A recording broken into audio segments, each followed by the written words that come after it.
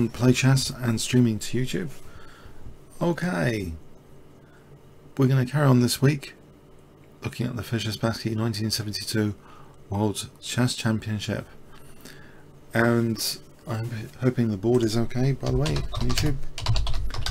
Seems okay to me on the preview. Uh, so, we come to one of my favourite games of the 1972 match. And it has a surprising twist early on in its Fischer playing white in game 6. Managed to avoid a lot of preparation in this game. He played a very surprising first move here in game 6. He played actually the move c4. If you remember, there was a quotation with e4, best by test, play e4, but Fischer played c4.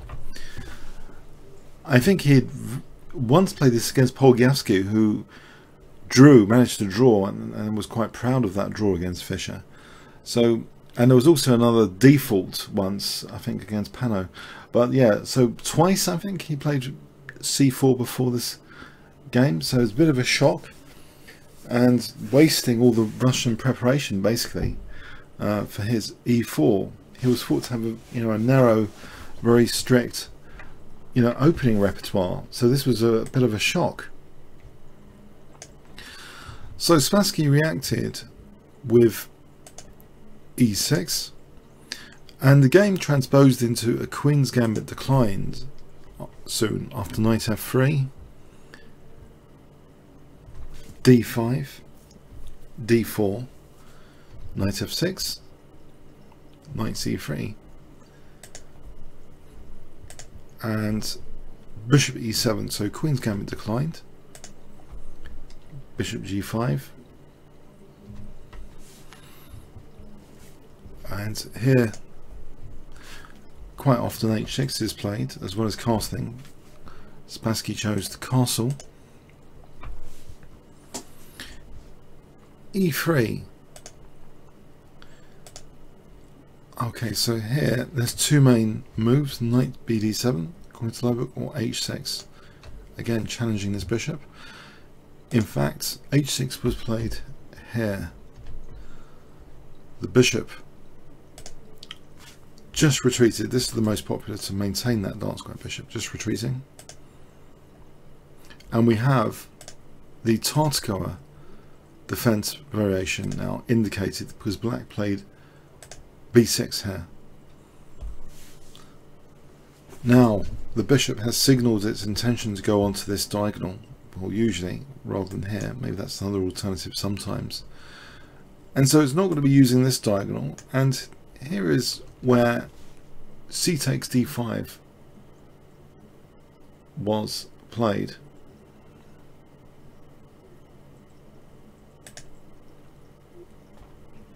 So c takes d5.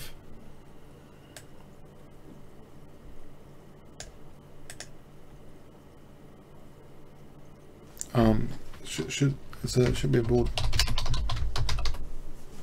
Boards should be okay by the way. So c takes d5, locking down the center, and black rarely actually plays e takes d5. The most popular is what was played to keep the, the center more fluid and this diagonal more open. In fact, Spassky played knight takes d5 here. Knight takes d5.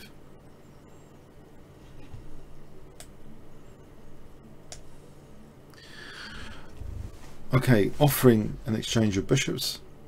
Let's actually add uh, a Kibitzer here as well, just to check things out. Stockfish in the background. Just want to check things out if needed tactically. So we're still in the opening phase of the game where we're coming out of the opening soon. Uh, so what does white want to do in this position? Well, the usual move is actually to take on e7 here, not to say retreat the bishop. Uh, knight takes d5 is also not commonly used. The most common move is to allow the exchange of the dark square bishop. So we have bishop takes e7,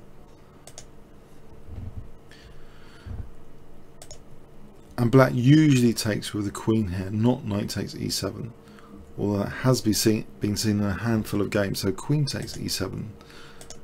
So we're getting quite deep into the Tartakower defense variation.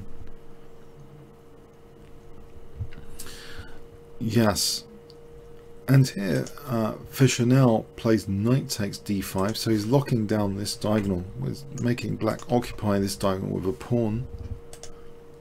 And it's actually it was actually quite a trendy variation. This had been seen in some topple games before. Fischer's been keeping up with the literature, the Russian literature, and, and the latest trends in this variation, which he's never actually played much before, but he's he's seen it obviously before, and he's playing very topically.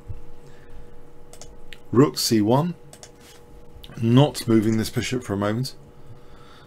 So rook c1 starting to put pressure on the queen side.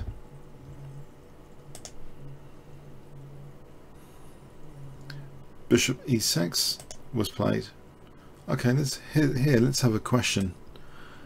Bishop e6. Okay, this might be theoretical, but it looks a bit weird not to play bishop b7 maybe. Bishop b7 has been played a little bit, 25 times, but bishop e6 is, is the most often used move. Let's have a quick look. Bishop b7. Here's an example. This queen coming to pin the c5 pawn. Is the bishop better off on e6? Well, it's interesting. Anyway, engine has a slight advantage for white here. But yeah, bishop e6 is actually much more common, even though it seems as though b6, you know, the bishop was going to go to b7. It actually goes to e6 here. And we still see this move, we see this move queen a4. Black has a problem here with c7. Clearly, there's a there's a nagging issue with c7. Uh, if knight d7, doesn't that just blunder a pawn? Yes, probably. Even though white's not so developed, I don't think black's in a great position to exploit this just yet. This could actually be taken. And this should be okay for white just about this position. Should be okay for white. So black doesn't want to give up the c7 pawn and he wants to be able to develop the knight. So what to do about that pawn? Rook c8 might be viable. That's been played a few times before. And actually here's a game continuation bishop e2. Uh, and okay, it seems as though this might be playable as well. Okay, in, in the game c5 was played immediately. And we have this pin emerging, queen a3 pinning. So these hanging pawns, this structure with the hanging pawns. So the plans for white, or any colour when, when playing against hanging pawns, is often to try and fix them, encourage them to commit themselves. So you can try and exploit the weaknesses around the, the more fixed pawns. With this pin it's slightly annoying pressure here.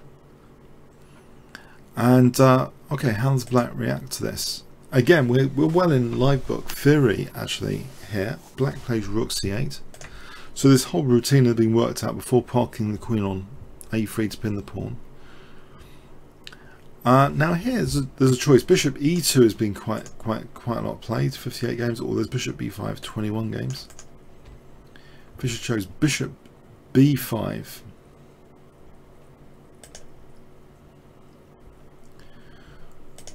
Okay, so what are the issues in this position? Is it possible that knight d7 might not be a good move? In the game we see a6. In luck in this position. It's either a6 or queen b7 uh, Queen, Queen 7, like 13 games, A6. Very rarely knight BD7. Let's have a quick look at this. You might think, is that viable?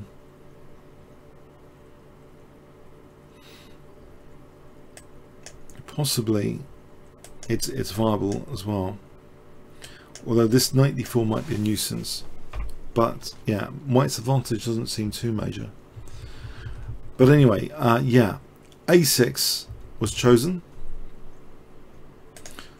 Not yet threatening a8 because of the pin, but queen b7 will mean the bishop is actually threatened because queen b7 will protect the rook.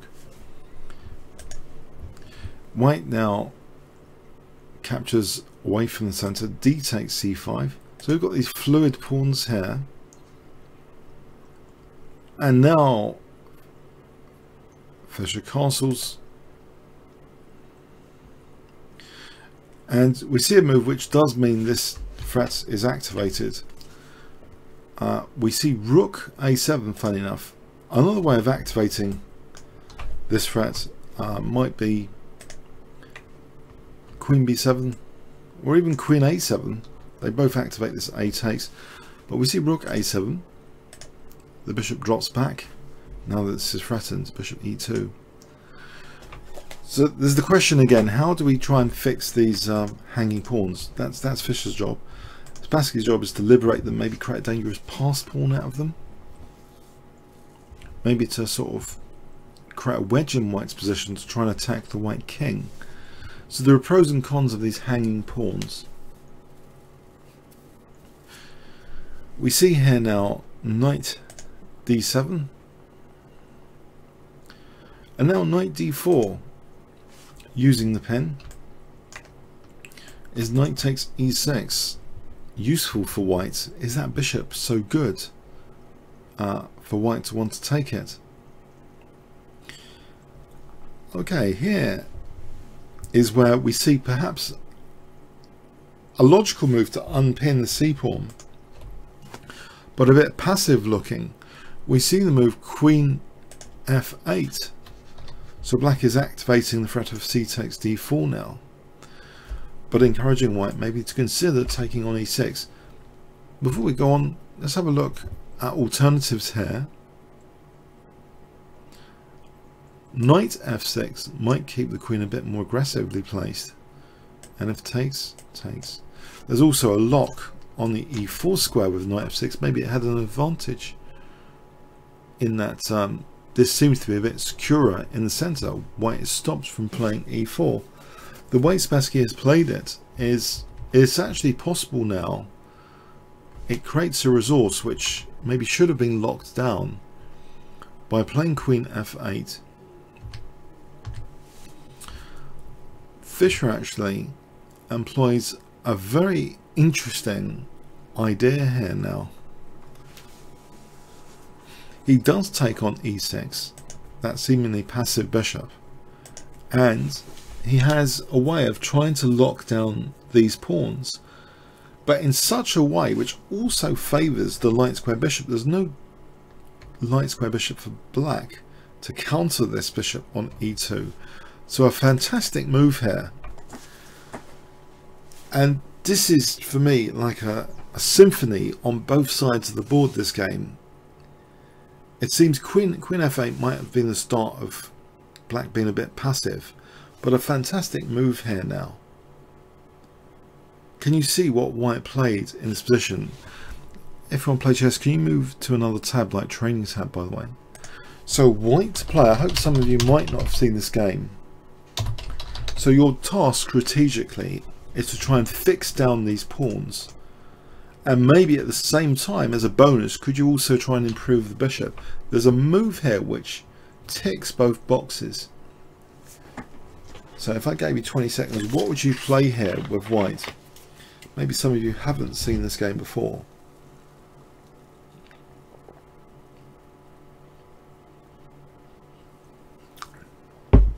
It actually represents very classic, a very classic example of play against hanging pawns. So you want to try and fix them down and maybe emphasize your other assets in the position at the same time. So white's play.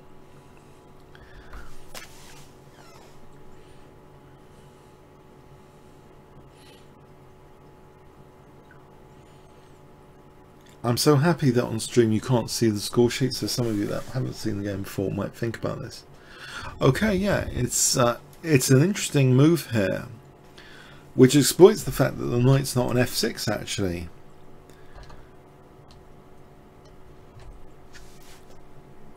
It's actually, yes, some of you have guessed.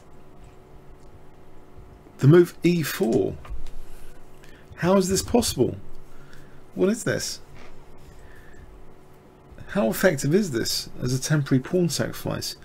Black in the game declined the pawn sack. He played d4. Maybe there's you know some other alternatives which might be lesser evil alternatives like knight f6. Maybe. But Spassky actually fixed down his pawns. Uh, like submitting to White's plan, it seems. If he takes this pawn, what happens? Let's have a look. D takes e4.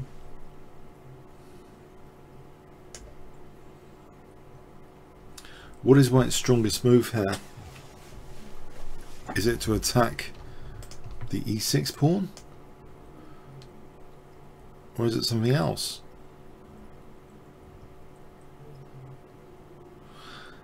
Interestingly, I haven't analysed this position in great detail except in this point.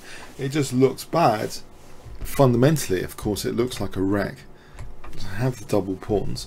But I think we should analyse it concretely, this position. Is it bishop c4? Actually, the engines are suggesting something else. What would you play in this position if black had taken this pawn? on e4. What is the actual punishment here? White to play. I'm just gonna. This is this is now getting tricky. This is just a variation.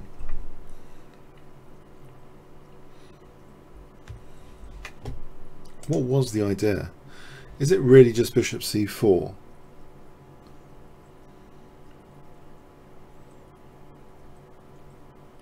Positionally, of course, it looks like a wreck. I mean, it looks as though there should be enough positional compensation. Should you really have to justify this?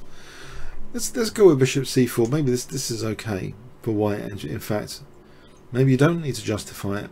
You just stop pressurizing e6. What is black doing? Protecting that. You could put a bit more pressure on e6. Or maybe even you can just make it into a gambit. f3. How dangerous is this? Uh, this looks pretty dangerous. If taking, maybe it's just a very strong gambit here. Takes, we can take on e6 and then take on f3. That looks like a strong gambit in any case.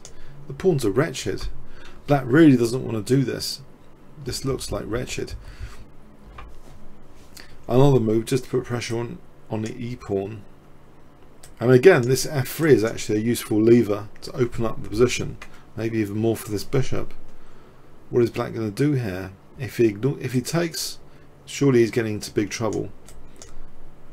There's a lot of pressure in this position. White's going to regain the pawn with advantage. The pawns are all pretty splintered. So yeah, it doesn't seem like a good idea. As you'd expect, d takes e4 does not seem like a good idea.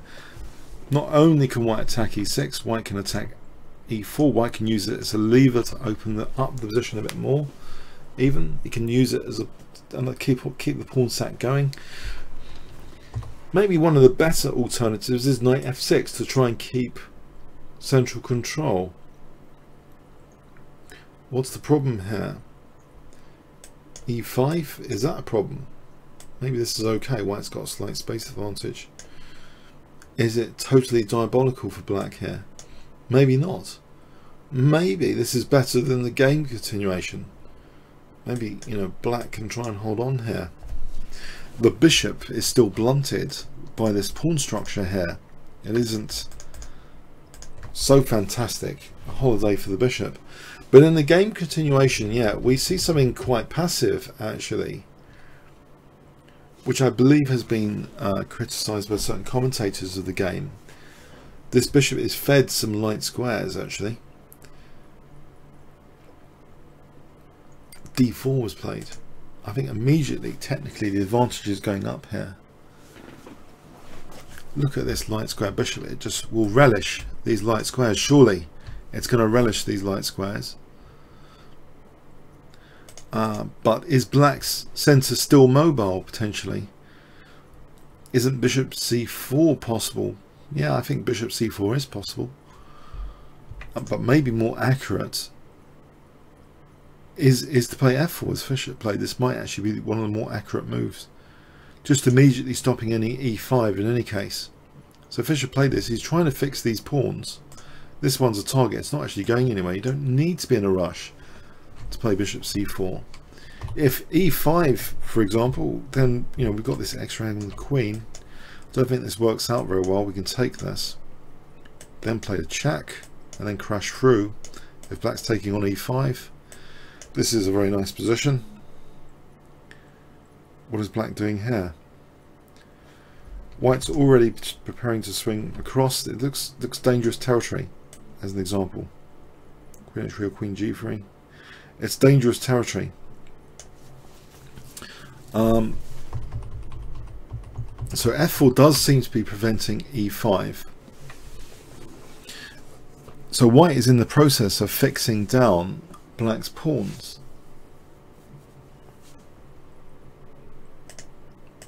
What can black actually do here? He seems actually to have a passive game. What about moving this knight?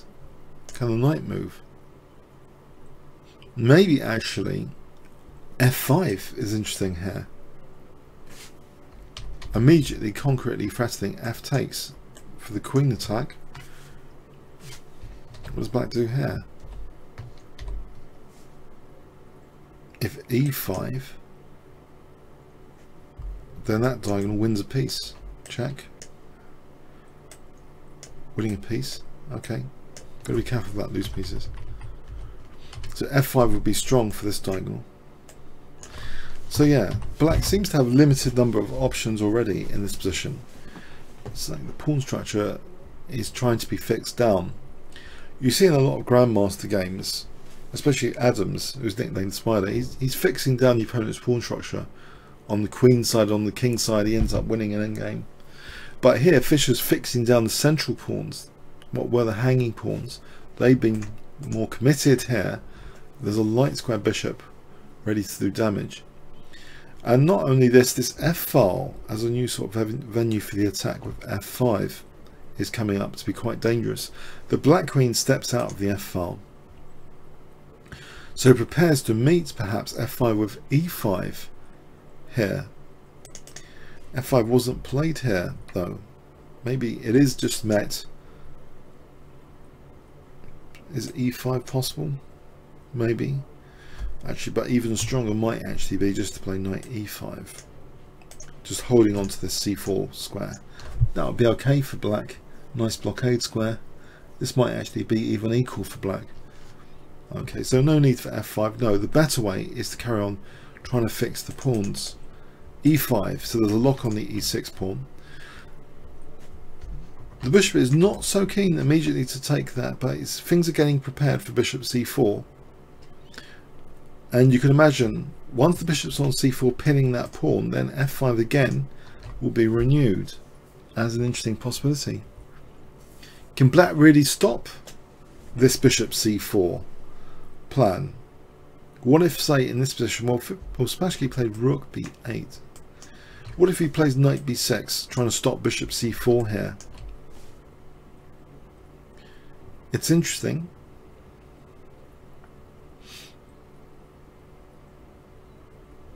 Maybe the queen can come like this. Maybe the bishop's just rerouting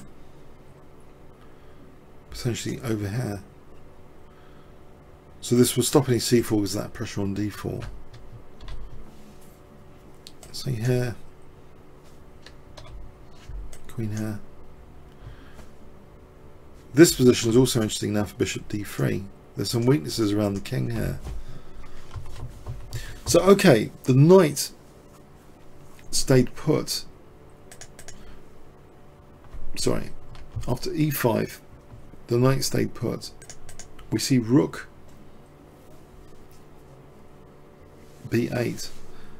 Is this a little bit more of a slide downhill though? Maybe it was more challenging technically to try and find something else it seems as though black is getting into a passive position here. Uh, so we see bishop c4, the pawn pins now. Hold being pawn pins. Uh, so what is black actually uh, doing in this position now? In fact, the queen is also ready to swing across maybe to g3 or even h3 to put more pressure on e6.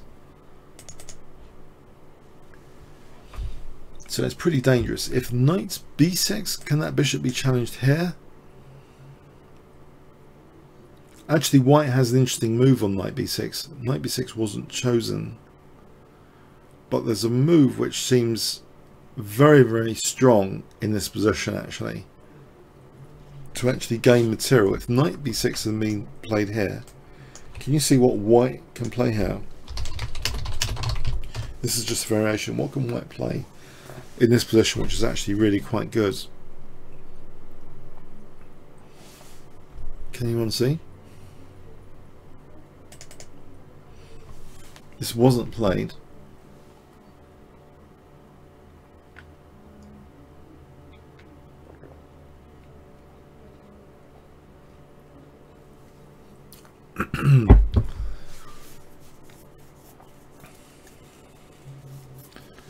There are pins around the place here to make use of.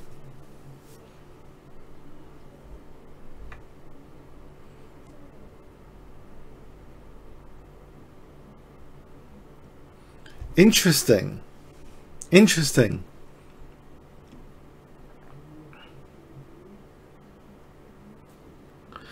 Fascinating. I think some of you might have old analysis for this game. Actually, I think some of you have old analysis for this game, or may have been guided by more materialistic commentators. They didn't have such powerful engines as now. Yes, a good move might actually be queen takes c5, but it might not actually be the best using the pin here. Of course, this seems to win queen, not the queen, a pawn. So queen takes, takes, is, is material up with actually a big advantage. But that technically doesn't seem to be the strongest move actually. Black might have knight takes c4 here. And things get a little bit interesting.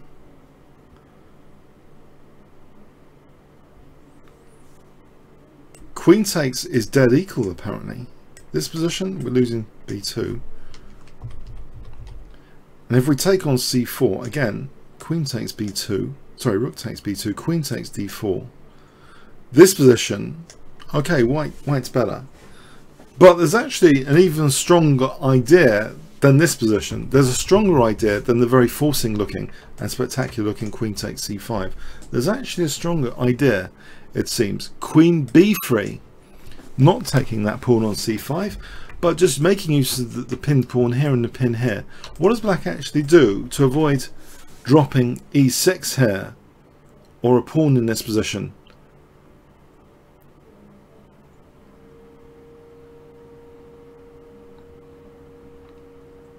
Can't go and protect this e6 pawn. We just drop the knight. Not this doesn't look good. We just take the rook again. How do we defend this? What here? We've got f5 crush. There's no way of defending e6. This might actually be stronger than queen takes c5. And I bet you a lot of annotations have queen takes c5 here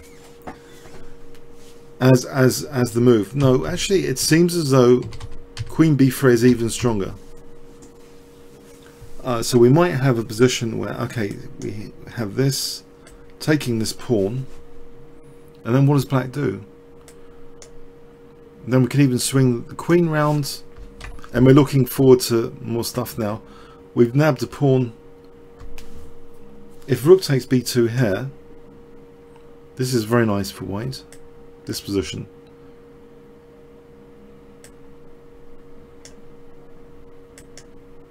Gaining control of the b file. And then maybe the bishop's going to reroute. And we've got some pawns here, we've got this sort of thing happening. And we've got that b file. So yeah, maybe queen b3 is even stronger, but they're both pretty strong, but queen b3 might be even stronger. So anyway, yeah, knight b6 wasn't played. The bishop, unfortunately, has to be tolerated here on c4. Unfortunately, what a pain. We can't challenge this bishop with knight b6 because the strongest move might be actually be queen b3. So we see king h8. White has achieved everything he wanted strategically against these hanging pawns. He's fixed them down. In the process of fixing them down, he's also mixed in with that improving his light square bishop. An ideal scenario, it seems. And he has this flexibility now. Now that Black's committed himself into the center, it's like White's been given a free hand, so to speak, to play on the king's side without counterplay now in the center. These pawns are not so dangerous. Can White simply leisurely go to the king's side here? What about the b2 pawn? Isn't that an issue? Why isn't this an issue? Well, okay.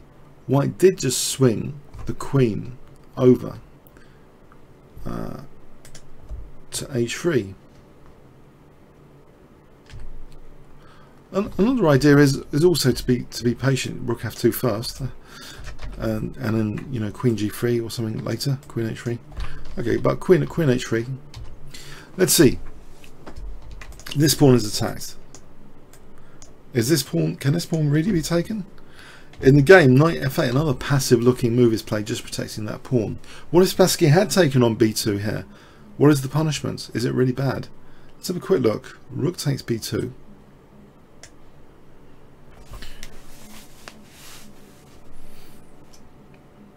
Probably, yeah, this is giving us an advantage quite technically. You know, bishop takes e6.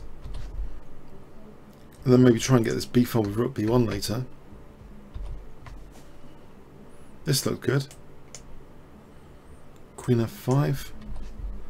Maybe the bishop's going to drop back and go onto this diagonal pretty soon. Bishop b3. Also e6 is on the cards. We've got some mobile, mobile pawns down at e6 on the cards. Say knight f8. Challenge this rook.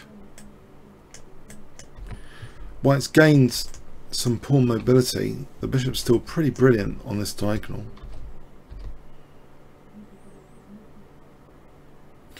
It's, it seems to be very advantageous, this position. So anyway, black didn't take on b2. It's interesting. It's actually one of the top engine moves to take on b2. To try and exchange that for e6. Exchange of prisoners is an expression Nimzowitsch uses a lot. Where you have one weakness do you want to trade it for what your opponent's weakness? Maybe rook takes b2 is technically one of the strongest moves in this position. If we try and defend e6 with the rook, then white can play b3. Okay, we're both defending our weaknesses, but white stands better here. This one, and then maybe f5 is coming. to Try and liberate this pawn or smash through with f6. That doesn't look pleasant at all it's maybe a little bit similar to the game. So maybe this was the chance where, you know, black should have played rook takes b2. It's getting to be a very difficult position though. So Spassky played passively again. Knight f8. A willing passenger. Where is this train going now? White just removes his his temporary issue with b3 and it looks like a beautiful bishop. Not going to be challenged by this knight for the foreseeable future. When is this knight going to crawl out? It's defending e6 and if the bishop's there isn't f5 now a permanent threat on the horizon. A5 you might be tempted why doesn't white just fix down the a5 pawn with a4 before doing anything else That's interesting. It wasn't actually played. In fact, f5 was played. Is there something wrong with a4 here, you might ask? Just be a bit patient. Just shut down the play.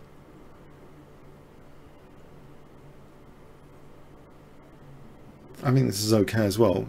I don't think White's White's assets are not going too far. I mentioned that because I, Michael Adams, one of the great positional players in the UK, he was actually um, he actually came to my um, 18th birthday party. This was many years back.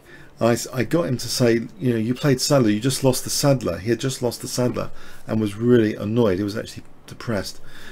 And he was black, I think, against Sadler.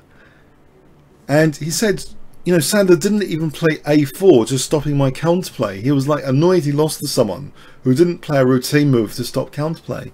I think that's why I'm mentioning it now you know, if you if you've got an option just to shut down the opponent's counterplay before carrying on, but of course you're creating weaknesses here. It does it does mean the b4 square is a bit of a weakness.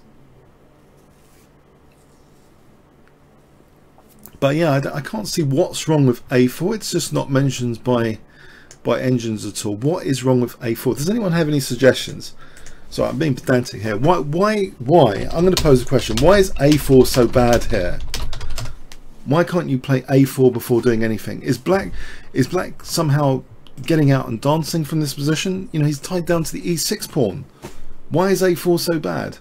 The b3 weakness. What, are you're going to sacrifice in exchange? Really? Isn't the bishop holding b3? Isn't the queen holding b3? Doesn't seem such a loss of time. But on the other hand, what is black actually doing with a4 b? Is that a file of great significance? Maybe not. Maybe that's the point.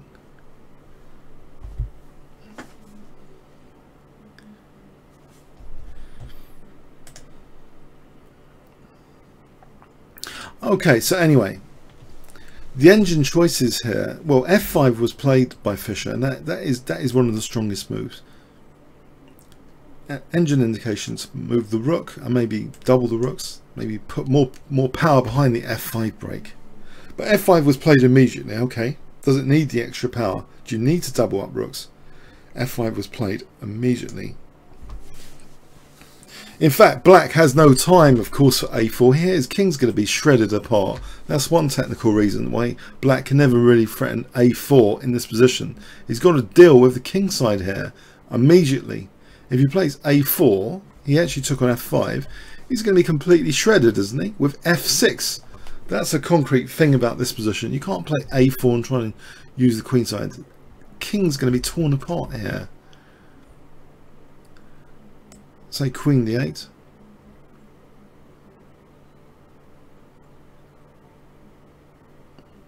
This looks like a very strong position.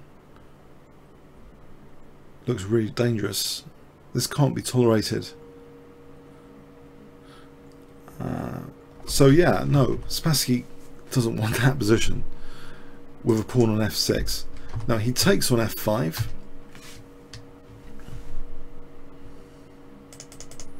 Rook takes f5. And white is again threatening actually to double now with a concrete, you know, rook f7 coming in or other pressure. So I don't think there's actually any time for this a4 here. There's just no time for it, surely. Let's have a quick look. In the game, knight h7 was played.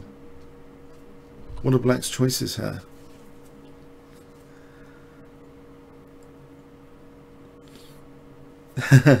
Amusingly, the engine's top choice is actually to play a4 rather than knight h7. See, I told you the a pawn should have been locked down.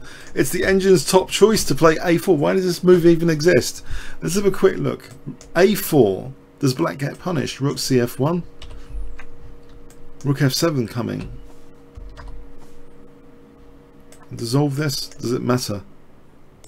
It's still a very strong position for white, this position here with rook f7 quite dangerous. But anyway, knight h7 was played. And white has the luxury of doubling the rooks, which is a great thing to do. You want to keep the bishop pair, and ideally you want to double your rooks and have the opponent's rooks not so double as as as uncooperative as possible. So white's looks rooks look like fantastic team effort here is going on with these four pieces in this position. The concrete threat the more concrete threats might include e6, maybe building pressure with queen g3, then maybe e6, we've got also access on this diagonal. So things are starting to look pretty dangerous. We see queen d8, the queen steps back. And now queen g3, putting more pressure to bear. And there's possibilities like e6 opening up the queen on this diagonal. This is a runaway pawn all of a sudden. The queen and bishop here are still keeping a lock on this d pawn. So white has achieved extra pawn mobility, you could argue, as well as having a better minor piece, that bishop against the knight. So white stands strategically better. You could say black is in fact strategically lost to some extent. He's without too much counterplay here. We see rook e7 and now depriving the poor knight of even g5 as a possibility. h4 is played, which also means there might be extra effect in this rook f7 because g7, what do you do about g7 without any knight g5? This looks more menacing for black's king now, rook f7 on the cards. So black tries to defend these two squares now. The knight's defending f8, the queen's defending f8, but rook f7 is on the cards. Black plays rook bb7. Double defense. And now we see e6. So opening up the queen. Also now, there's some extra possibilities emerging. Rook d5, for example, kicking the queen could be useful. Rook takes c5 is another possibility immediately after this e6. So black does want us to actually not lose the c5 pawn here. So he actually plays rook bc7. Now, powerful looking centralizing move in this position is played. Looks intuitively very powerful to centralize the queen. Queen e5. Does it actually concretely threaten much at the moment? Not quite yet, but it gives extra flexibility for this sort of naughtiness to happen on this diagonal. We see queen e8. Yes, black's pretty passive. Now Fischer locks down the poor a5 pawn. he plays a4 now at move 33. Finally! Yes! Lock down all the pawns, not just these two. Why is this one not suffering? Everything's locked down. The knight's locked down as well. These pawns maybe need to be locked down. Maybe with h5 later, or not. If we play h5, we give the knight a, a sigh of relief, maybe. Access to g5. So what is black doing here? He waits. Spassky waits. He's reduced to waiting moves now. He moves his queen back to where it came from. Queen d8. And we see a waiting move for white. I think this has to do with the time control actually, getting to move 40 to get some extra time.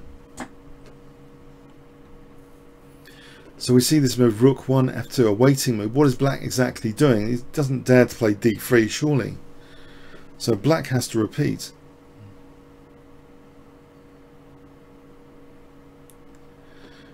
If black plays d3,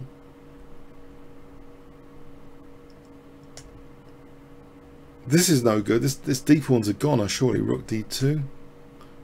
And that's a goner for black. He's going to be losing that pawn. He can't do that. So he sits and waits. He repeats with his queen. Queen e8. How is white going to improve? White wanting to get to the time control move 40, I think. So there's a bit of repetition here at this moment. And now finally, okay, Fischer goes into action a bit more. Funny enough, in this position, this is again technology, making very interesting resources available immediately, conveniently. Fischer played bishop d3 here. Yeah. Bishop d3.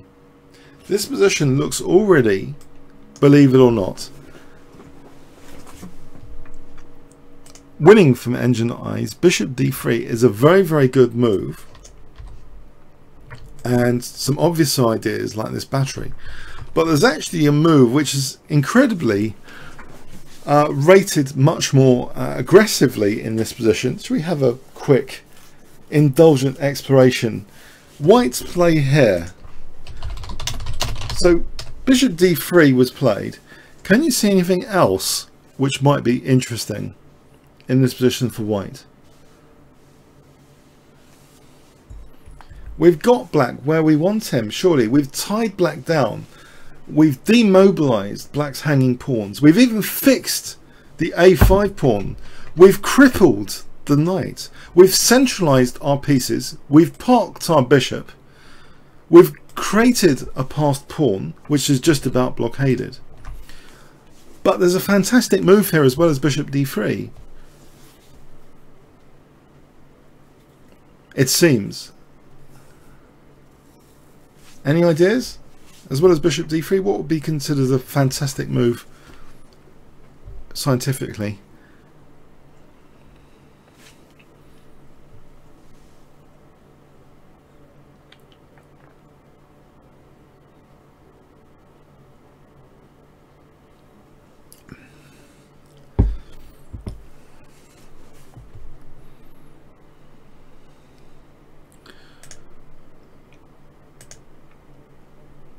In fact, there's very there's a large number of very good moves because black's so tied down. It might not be the greatest shock in the world that there's a load of fantastic moves in this position already available to white. White has done the positional damage. Strategically bust your opponent first, and then a wealth of fantastic moves should become available to you. Lots of roads leading leading to Rome. Um, someone's mentioned G4. I'm not sure about G4. Let's, let me just check G4. That wasn't the move I was thinking. But even G4 is a good move, actually. Yeah, you might even have the threat of G5. It's, see, even a move like G4 might actually be good. The engine suggestion is interesting, actually. It's indicating that this move is almost plus 11, believe it or not, Rook H5. And it's not a move I've ever analysed before, but it's giving this move as plus 11. There's a concrete threat of Rook takes H6 here. What does Black do about this? This is just a scientific investigation at this point. What does black do about rook h5?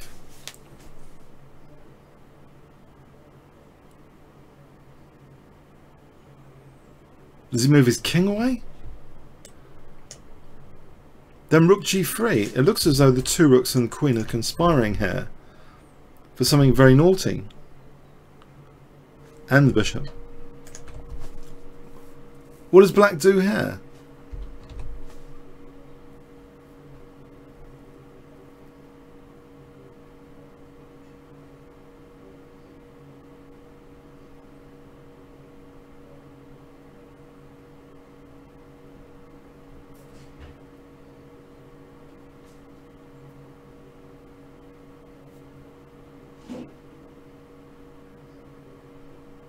You know what? This is given as a forced mate, this position. A forced mate in 11. I don't know if anyone knew that about this position. But yeah, rook h5, believe it or not, king j is a forced mate in 11. It's just indicated this is a forced mate in 11, this position here.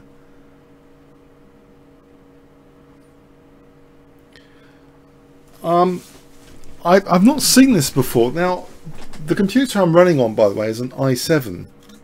It's a new i7. I actually got it for rendering videos and streaming quicker. I, I didn't realise it would find a force mate in 11 in this position. I have to show you that. Unfortunately, I've just lost it now. It's having to rebuild its view that this is a forced mate in 11. Ah, my word.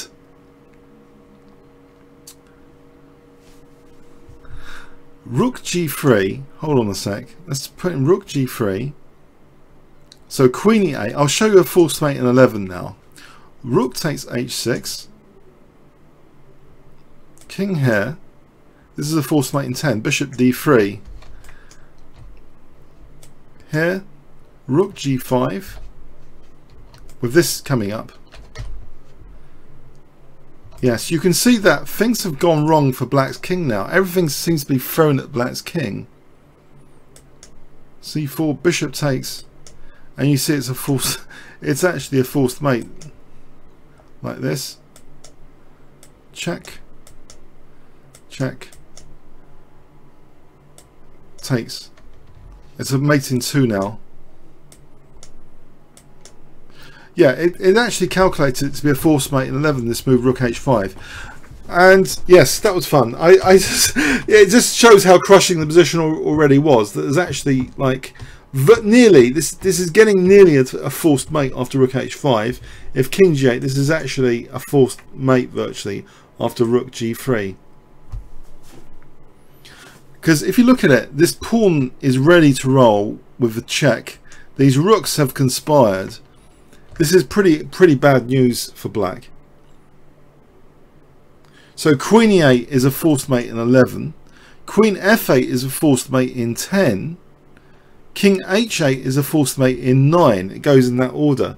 If king h8, for example, I'll show you the forced mate in 9. Rook g6. With this idea.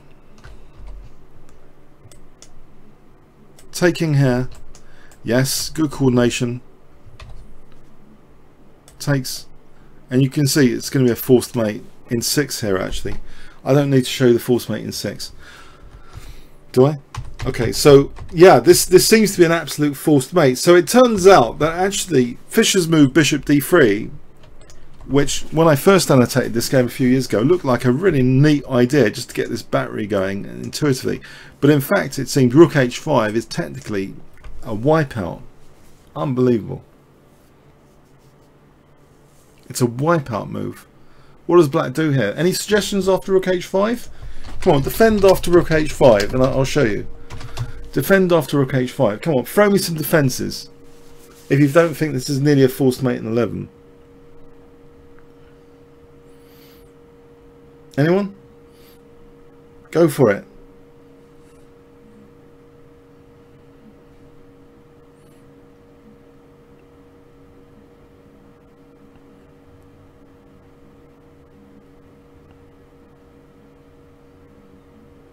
Knight f6?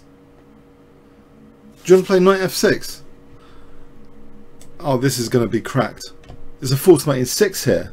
You, you've speeded it up. Rook takes f6. It's absolute murder. So he takes check. Say here, rook takes. Here, queen takes d8, checkmate. Yeah, knight f6 doesn't do anything. The best to slow things down might be to try and sack the pawn. Actually, might be out of forced mate territory. Set the pawn. But anyway, okay, sorry, just got an aside there. Anyway, so in the game, it's already a pretty crushing position strategically. We've established that. So we're getting into technical details here for the finest, you know, technical implementation. But yeah, bishop d3 seems entirely logical with the idea of queen e4, just a simple battery to mate on h7. Why not mate on h7 here?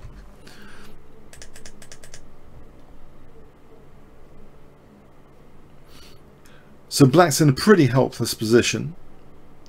He plays queen e8 again, and this battery is constructed. With white now threatening, well, what is white now threatening? Um, what do you think white is threatening here? What is white threatening? If white was given another move, what would white do in this position?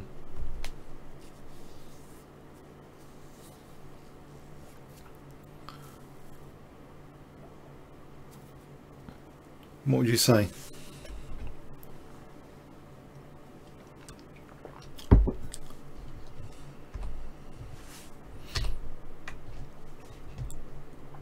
Yeah, rook f8 is the threat. So say black did did did a nothing move. We've got rook f8, just taking the knight away. Rook takes, extinguishing the knight's defense of h7. And then queen h8 7. queen h7 is checkmate. Ouch. So Spassky is in a totally lost position, of course, here. He plays knight f6. Fischer crashes through with an exchange sack.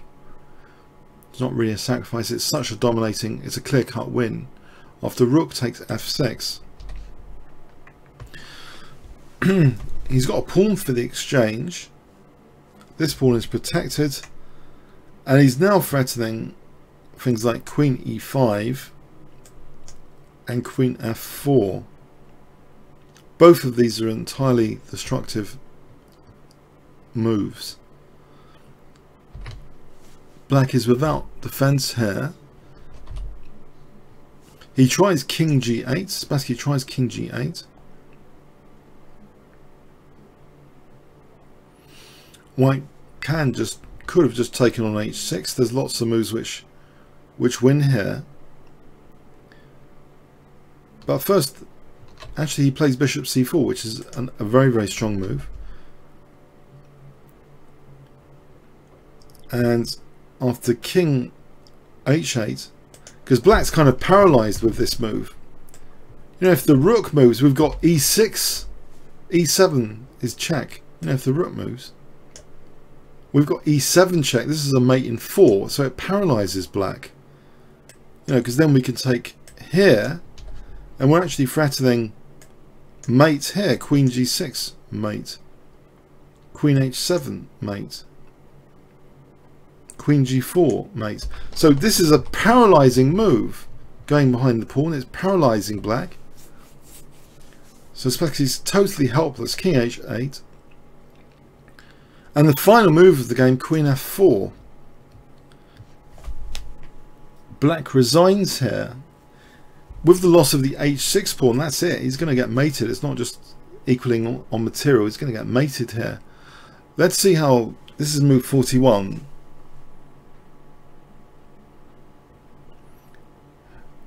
Of note, Spassky is such a gentleman, and, and this is what Fischer remembers very clearly. You know, he, he stood up and started applauding Fischer as well as the audience.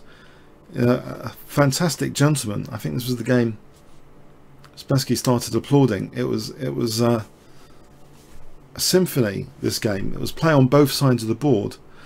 But um, let's look at the final position. If Queen G8, Queen E5, threatening mate with the discovered check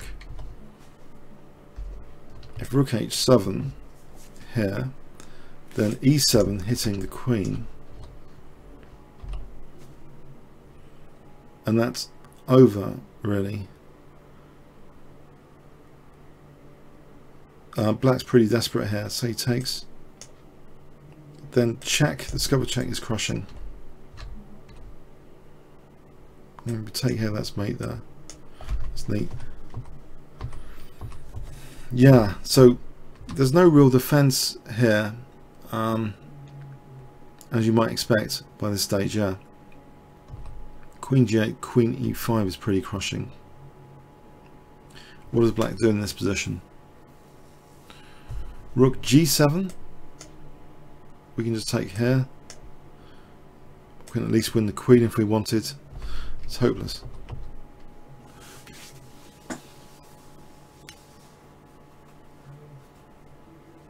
What does black do in this position? Have you got any any defensive questions from this position?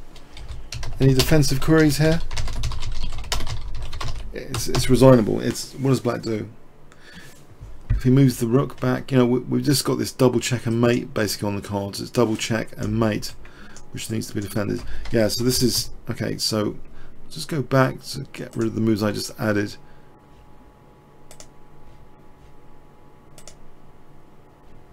So it's in this final position, Queen f4. Black had resigned. So I think I was showing you Queen g8. Queen g8 is also, sorry, Queen g8 here, there's Rook f8.